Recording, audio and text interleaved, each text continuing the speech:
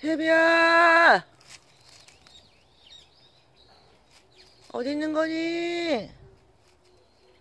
어머한테 모습을 좀 보여봐. 우리 삼색이가 다 나와있네, 오늘.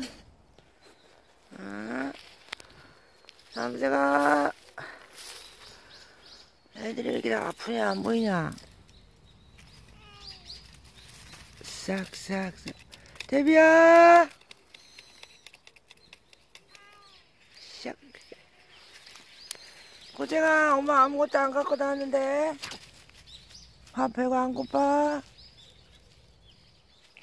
고쟁, 우유라도 갖고 나와야 되나?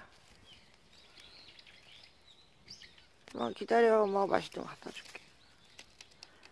세비가 없어지니까 만사가 귀찮다 야. 이거 어떡하냐. 데비야! 살아있는 거니?